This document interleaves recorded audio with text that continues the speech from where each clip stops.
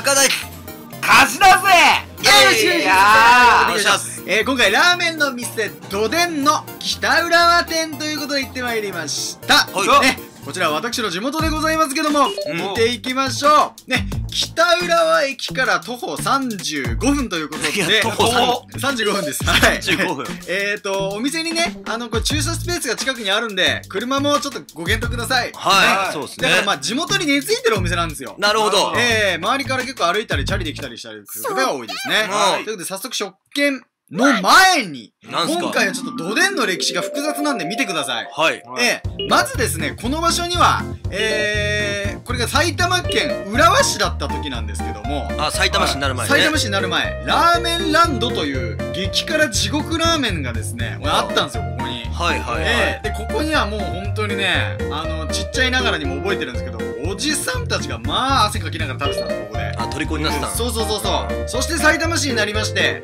閉店しちゃったんだけどもその後2004年にいきなりラーメンマルジができるんですねはこの場所に。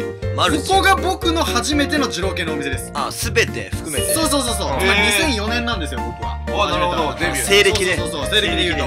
その後確かですね2007年店名が藤丸に変わります。さっきからずっと確かだけど。いやいや あ古いんで古いんでね、えー、この時はまだねあの国産豚麺じゃなく豚入りラーメンという名称でございまして、はい。えー小上がりなどもありましたという藤丸北浦店の情報でございますね今回ね。なるほど。でこの藤丸はですねあの2012年までに閉店しちゃうんですよ。はい。でこの場所にどでん、えー北浦和店が始まりまして、えーその藤丸の店長だった方は明大前でもみじ屋をオープンさせてあもみじやはいそう、はいで初期のどでんの店長さんもういなくて、うん。青森で二郎系のお店今出してるんで。なんと。ええ。でそこ行こうとして僕はあの間に合わなくてちょっと食べられなかったという経緯はございますが。残念青森そんな遠いとは思わなかった。もう各地にね。各地に行ってるんで。う。ん、ええ。というわけで食券を見ていきます。ね、えーラーメン少なめ半分、そして油そばの大中小。でトッピングなどなどございますが、今回私が頼みましたのは、まあ普通のラーメン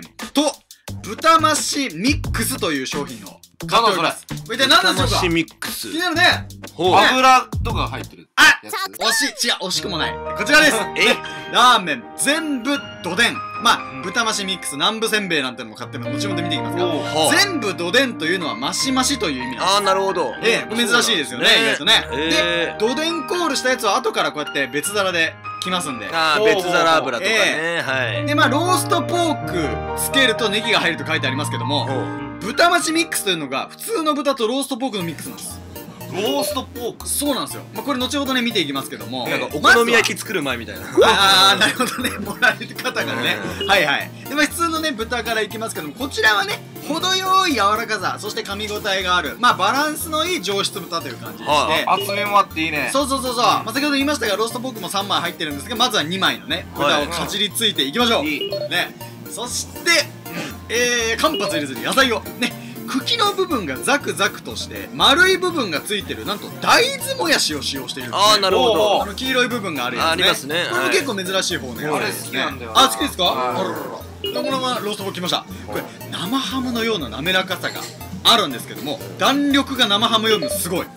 で、うん。初期の北浦和店にはこれなかったんですああなるほど。大宮店に最初あったやつを、まあ、逆輸入的にねほうほうほう。始めたよという人気商品でございますのでローストポークこ今回どんどん出てくるんでね見ていきますがまずはこの麺だね。これねこれ見てくださいこれ。やっぱ藤丸の系列というか関係者の方がやってるんで、うん。まあ麺はこの引き継いでますよね、まあまあ。あとね。ごわっと麺。その通りごわつきざらつき縮れ度こそどでん名物ね。おー。3点セット、多いな。すごいましたけど。ええだかじりつくように食べられるんでね、う藤丸よりも僕は麺がもう乱暴だと思います。ん乱暴。乱暴です。表現の仕方がすごいけど。ええ。荒々しい。そうそうそうそう。もうわんぱくな麺なんでね。うん。これはぜひとも食べていただきたい。うん。そしてあらスープね。これ意外と生姜の香りがこうちょっとする。あそうなんですか。ええ。なるほどね。気をつけて飲むとそんな香りがいたします、うん。ねでこのスープを吸収させたポーク、うん。これを麺に巻いて食うと。どうなるんでしょうか？ね。おこれね、うん。ポークの弾力麺の弾力が出会ってもう口の中がもうバネだらけみたいいやいやどういう表現なんだなイメージがもうバネ。だらけバネバネ。バネバネっすか？ね、まあ、スープでちょっと中和しながら食べますが来ました。南部せんべいです。これなんすか？これねほろっと崩れるかと思うじゃないですかうん。せんべいなんででもあの汁あの煮汁の中にせんべい入れて食べる郷土料理で弾力があるんですよこのせんべいにああそうなんだそう。あもともと浸せるようになってる。そうそうそうそう。でそのさっき言った店長さん青森行っちゃった店長さんの地元の名産品という。あ。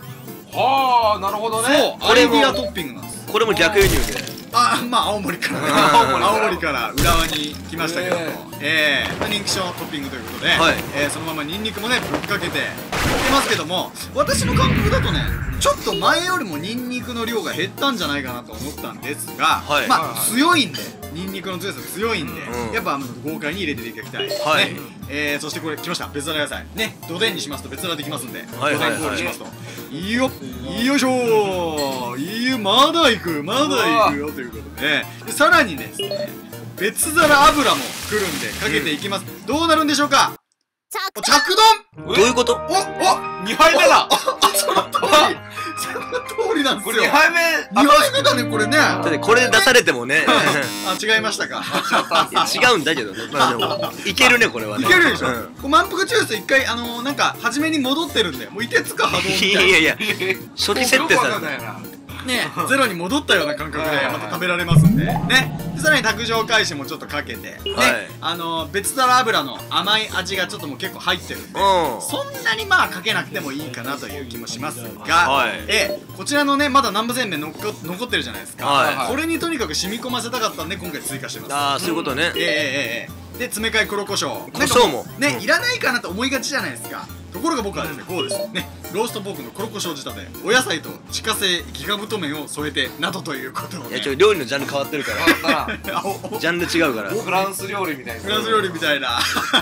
ねえ北浦和でこんなもん食べられるんですよ。ねさらにねラー油をねかけていきましょう。うわーこってりー。ねう油そばもあるんでね、はいはい。これ絶対調味料が合いますけどおもうラーメンには序盤で投入するのはまあ気をつけてくれと。なるほど注意まあ後半でね。ワッチアウトとうん。いうことでね。さあ来ましたファイナル南部せんべい。いや聞いたことない。いそんな単語。え何ですか？FNS ね。FNS 南部せんべい、たまたまね。コテコテ油と醤油吸い尽くしてるんですがまだ弾力がすごい。これもっとみんな頼んでもいいんじゃないかな？南部せんべい。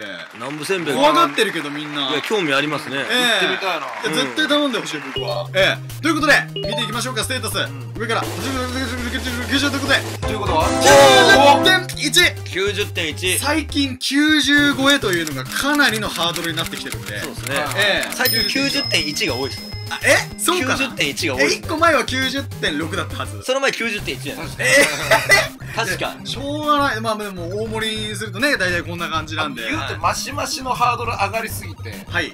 あの量が上がったっていうのがありますよね。あの星さんの。あなるほどね。赤星の胃袋が上がって全体が上がってるっていう。確かにね。うん。昔は小だったかなあコールがね増えてってえねえまあ確かに確かに。まあということでね凱旋してきた今回は言い忘れましたが200件目です。おお200件目。ね。すごい。最後で言うのもあれですけどもこれ頭で言わなきゃいけないもんいやだけど言わないと。ええ。まあダメですよ。ダメですよ。ええ。というわけで200件目で2万人も登録ということになりましたんで、はい。えー引き続き皆さんもどでん。なん。おっつ。あいつ